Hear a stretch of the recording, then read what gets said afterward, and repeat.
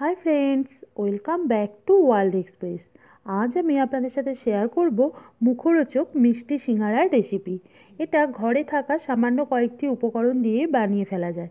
তাহলে দেখে নিন কীভাবে বানাই এই মিষ্টি সিঙ্গারা। মিষ্টি সিঙ্গারার ডোটা তৈরি করার জন্য একটা মিক্সিং বোলে নিয়ে নিয়েছি দেড়শো গ্রাম ময়দা।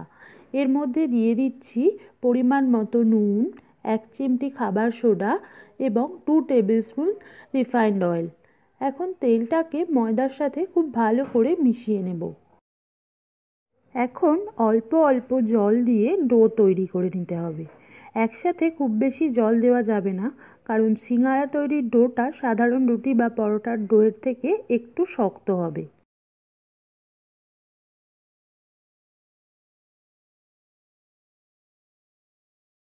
ডোটা রেডি হয়ে গেছে।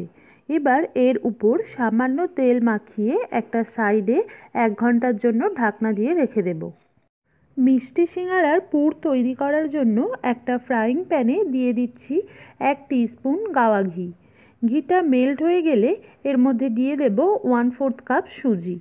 মিডিয়াম ফ্লেমে তিন চার মিনিট ঘিয়ের সাথে এইভাবে সুজিটাকে খুবই ভালো করে ফ্রাই করে নেব। তিন থেকে চার মিনিট হয়ে যাওয়ার পর এর মধ্যে দিয়ে দেব টু টেবিল স্পুন ফ্রেশ নারকেল কোড়া। এখন এইভাবে নেড়ে চেড়ে ফ্রাই করতে হবে ছয় থেকে সাত মিনিট। ছয় থেকে সাত মিনিট ফ্রাই করার পর এর মধ্যে দিয়ে দিচ্ছি ওয়ান ফোর্থ কাপ চিনি। এটাকেও ভালো করে নেড়ে চেড়ে আরও তিন মিনিট মতো ফ্রাই করে নেব। তিন মিনিট পর এর মধ্যে দিয়ে দিচ্ছি টু টেবিল স্পুন গুঁড়ো দুধ। এটাকেও সব কিছুর সাথে ভালোভাবে মিশিয়ে আরও এক মিনিট মতো নাড়াচাড়া করতে হবে। এখন এর মধ্যে দিয়ে দিচ্ছি ওয়ান ফোর্থ কাপ গরম জল। এখানে গরম জল দেওয়ার কারণ হলো যাতে চিনি, নারকেল আর গুঁড়ো দুধটা একসাথে খুব ভালোভাবে মিশে যায়। এর মধ্যে কোনো রকম দলা না থাকে। জলটা সব কিছুর সাথে ভালোভাবে মিশিয়ে এক মিনিট মতো সময় নিয়ে নাড়াচাড়া করে একটু শুকিয়ে নিতে হবে।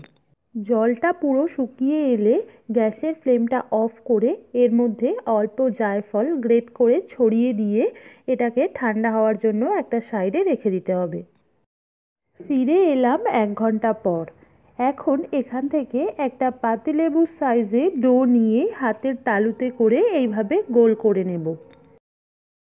এখন অল্প গুঁড়ো ময়দা দিয়ে এটাকে একটু লম্বা করে বেলে নেব। এবার একটা নাইফের সাহায্যে মিডিল থেকে দুটো ভাগে ভাগ করে নিচ্ছি।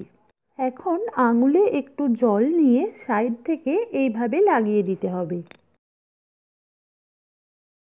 ভালো করে লক্ষ্য করুন আমি ভাঁজগুলো কীভাবে করছি।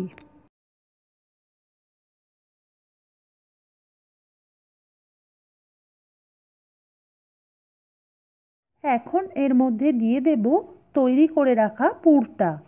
পুরটা দেয়া হয়ে গেলে হাতের সাহায্যে এইভাবে একটু প্রেস করে দিতে হবে এবং মোড়ার জন্য এর চারপাশে পর্যাপ্ত পরিমাণে একটু জায়গা রাখতে হবে।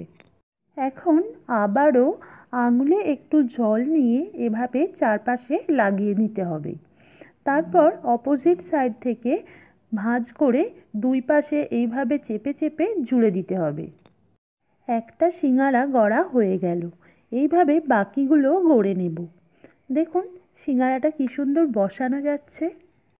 এবার সিঙ্গারাগুলো ভাজার জন্য একটা কড়াইতে পর্যাপ্ত পরিমাণে তেল দিয়ে দিচ্ছি এবং তেলটা ঠান্ডা অবস্থাতেই এর মধ্যে সিঙ্গারাগুলো এক এক করে ছেড়ে দেব। লক্ষ্য করুন সিঙ্গারাগুলো দেওয়ার পর আস্তে আস্তে এরকম বাবলস দেখা যাচ্ছে। কিছুক্ষণ পর পর এভাবে নেড়ে চেড়ে একটু উল্টে পাল্টে দিতে হবে। এইভাবে উল্টে পাল্টে সিঙ্গারাগুলোকে একটু সময় নিয়ে ভাজলে সিঙ্গারাগুলোর উপর থেকে খুব সুন্দর একটা কালার আসে আর খেতেও অনেকটা ক্রিস্পি হয়। সিঙ্গারাগুলো প্রথম থেকে মিডিয়াম ফ্লেমে গোল্ডেন ব্রাউন হয়ে আসা পর্যন্ত ভাজতে হবে।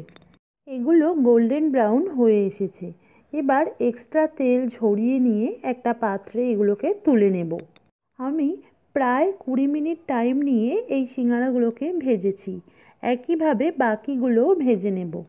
ভাজার পর সাত থেকে আট মিনিট ওয়েট করে সিঙ্গারাগুলো একটু ঠান্ডা হওয়ার পর এগুলো সুগার সিরাপের মধ্যে দিয়ে এভাবে উল্টে পাল্টে দু থেকে তিন মিনিট পর সুগার সিরাপ থেকে এগুলো তুলে নিতে হবে।